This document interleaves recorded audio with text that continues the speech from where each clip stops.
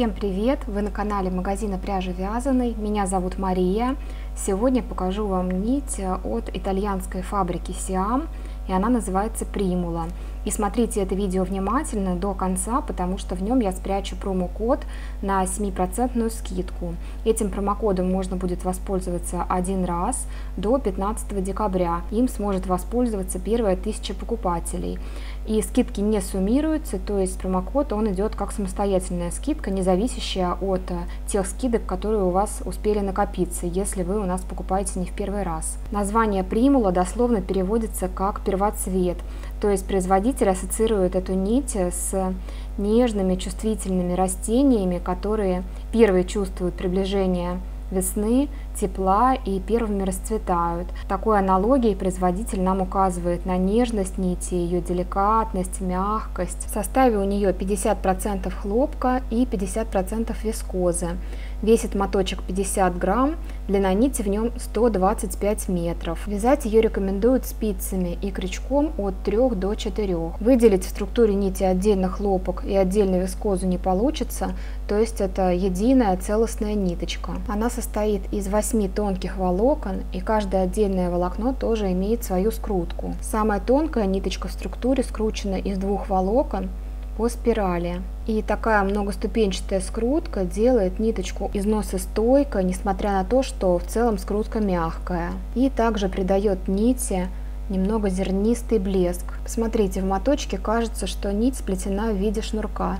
На самом деле у нее обычная спиральная скрутка. Нить не эластичная, она крепкая, имеет среднюю толщину, очень мягкая и податливая. Скрутка у нее легкая, волокна лежат свободно рядом друг с другом. Образец спицами мы вязали на рекомендованном номере инструмента, на спицах номер 3,5 ажурным плоским узором. Полотно ниточка ложится мягко, в петле кручения не видно, но блеск также имеет немного зернистый характер и ниточка красиво переливается, то есть она не совсем однородная, а тоже имеет свою фактуру. При этом петли получаются мягкими, и полотно само по себе пластичное, вискоза придает ему подвижности, и пряжа подходит для таких изделий, которые не имеют четкого силуэта и предполагают свободу падения полотна. Узоры в полотне ложатся гладко. Резинку мы связали на спицах номер 3, она эластичная, но не пружинистая.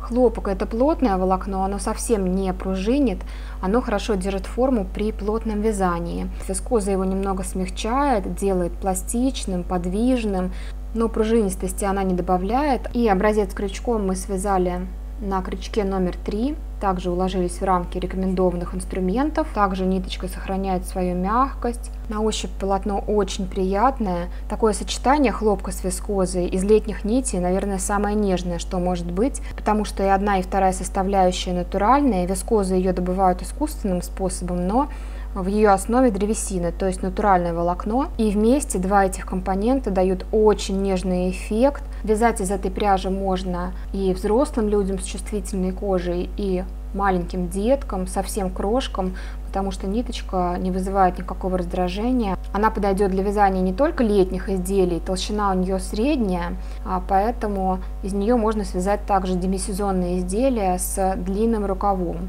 И вязать эту пряжу нужно аккуратно, так как скрутка у нее свободная, легкая, то волокна могут отслаиваться. У фирмы Siam есть еще одна пряжа, также сочетание хлопка с вискозой в немного большем метраже, 140 метров на 50 грамм.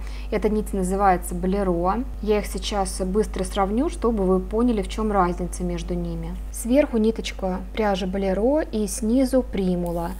Видите, как э, отличается скрутка. У пряжи Болеро она более плотная, и в ее структуре лучше проглядываются отдельные волокна. Она имеет почти такую же толщину, но скручена она всего из трех волокон, поэтому структура нити более очевидна. Блеск у нее тоже имеет зернистый характер. И вот сравните нить в моточках.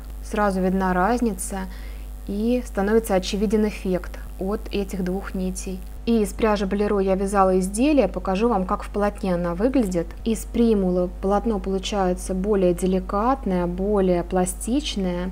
А в Болеро оно немного более устойчивое, хотя про него тоже нельзя сказать, что оно хорошо держит форму, все-таки 50% вискозы в составе, но структура у него более очевидная. Петли как будто более объемные, что ли, они друг другу поддерживают. А у примулы петли лежат свободно и как бы струятся вниз. И образец э, и кофточка связаны на одном и том же номере инструмента на трех с половиной. Цвета у этой пряжи такие же нежные, как название. Они сложные, полутона имеют э, очень тонкие грани, Поэтому сама нить уже украшает изделие своим цветом. И даже если вы свяжете изделие обычной лицевой гладью, то ниточка красиво ляжет и своим цветом подчеркнет его деликатность, его изысканность. 1071, 1072, 1073, 999, 1000, 1048, 995, 1025, 1026, 1030, 1017, 1018, 03, 01, 02, 1044, 1087, 1036, 992, 1040, 1034, 1088, 1074, 1023. Теперь вы поделитесь своим впечатлением, если вы вязали из этой пряжи. Дальше я также буду рассказывать про пряжу, которая вам интересна, поэтому в комментариях можете писать, про какую пряжу хотели бы узнать в первую очередь и увидимся с вами в следующих видео. Все, всем пока!